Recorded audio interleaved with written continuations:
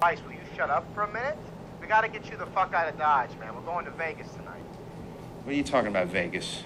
Vegas, baby, Vegas. Hey, everybody, new subscribers and those people that just happened to stop on by.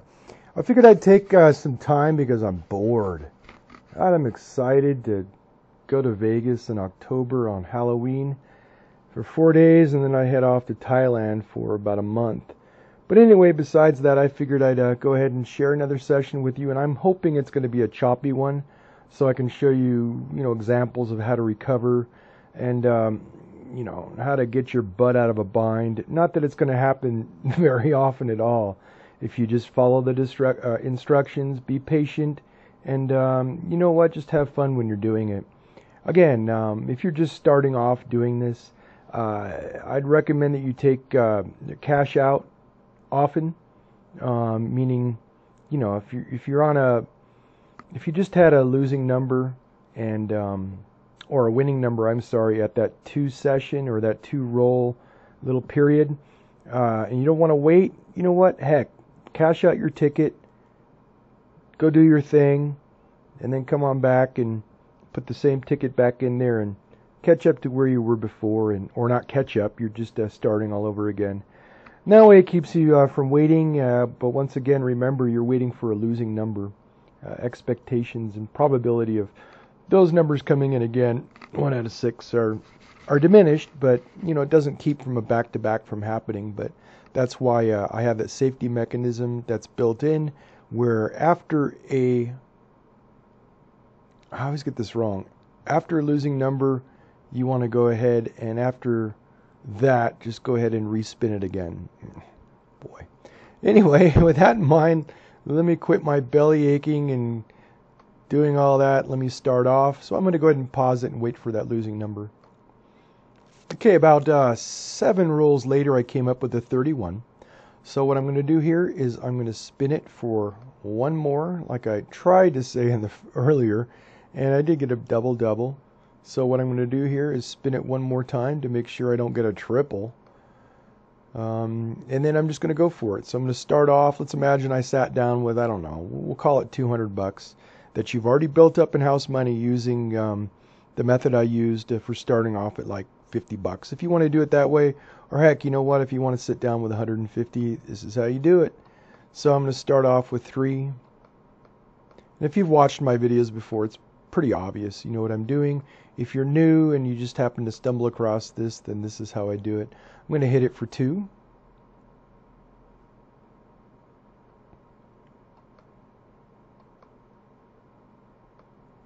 And uh, I'm going to go ahead and close it down, pause the video, and wait for that losing number. About eight rolls later or so, I came across the zero. So in that case, what I'm going to do again is I'm going to clear it out, clear it out. What? Come on. Oh, wait. Duh. Clear it out and go for one more. There we have it. And then I'm going to start off where I was before. No need to make any changes to that. I'm just going to go ahead and fire it up.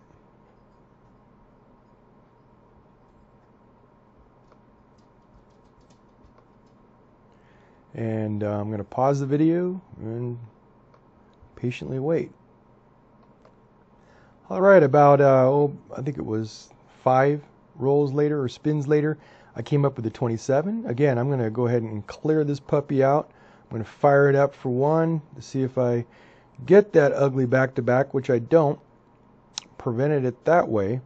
And uh, since I'm already set up, I'm going to fire it up for two.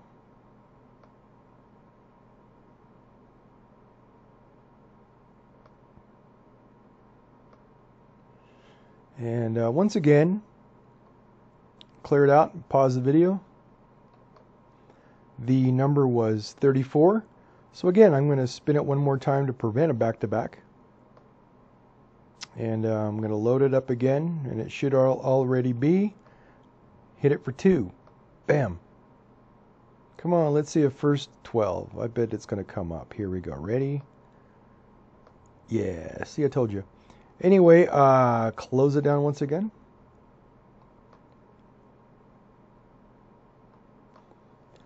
About seven later, roughly seven, I don't know, Anyway, um, I got.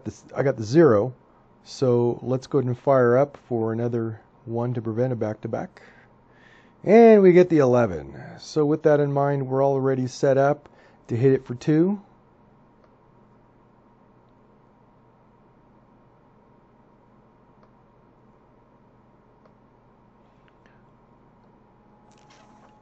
And I'm going to wait again. All right, the very next number was a 34. So, having said that, I'm kind of in a little gambling mood. I don't suggest you guys do this um, because honestly, I'm bored. Just want to try something, you know. Anyway, it's not to say you won't be successful because chances are very good you will be. But when you're building up a bankroll, I highly don't suggest you do what I'm about ready to do until you have about oh 250.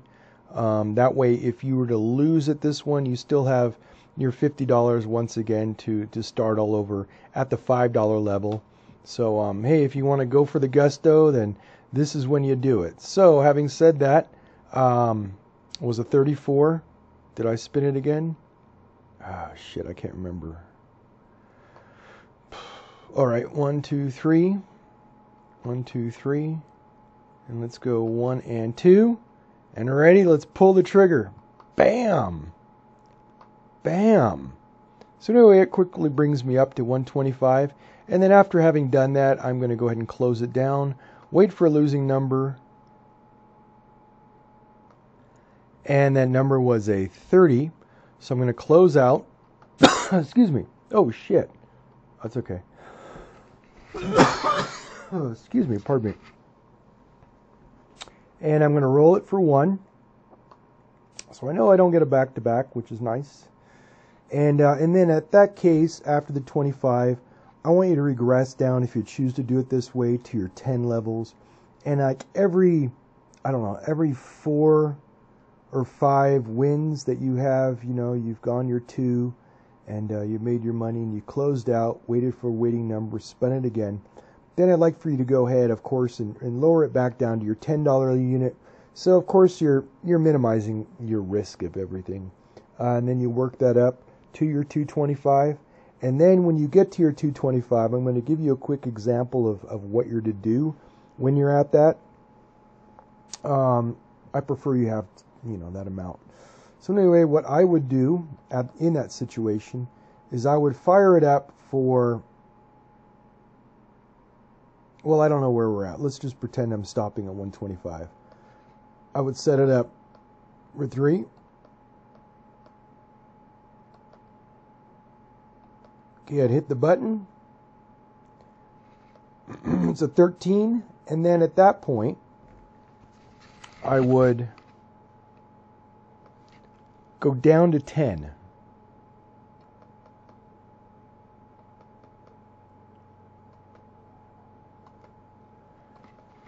Hit the roll button. Nail it. I'm up to 160.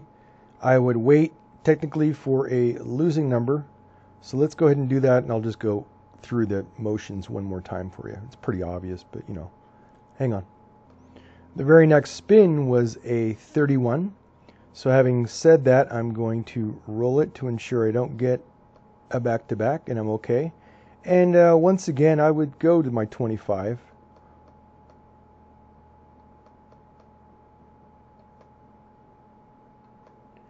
Hit it for one.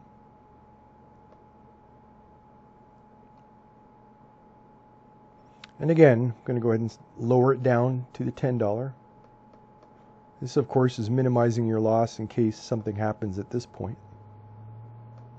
And that's what I try to try to speak about in all my videos is reducing your risk and trying to start off with the least amount of money. So that's always my goal. I do treat this as a business. Is it a business? No, but uh, I enjoy gambling, but I also enjoy walking out a winner the most. Winner, winner, chicken dinner. So anyway, with that in mind, let me go and fire it up for one. That's a loss, so I'm going to show you how to recover from that loss now that that happened, and I'm happy it did.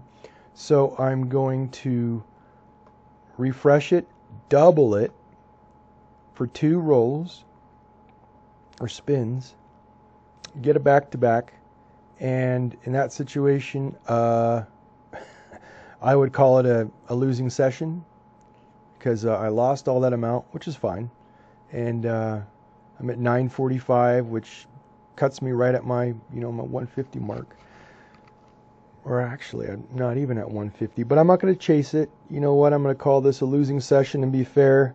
Um, how many sessions have I gone without a losing one?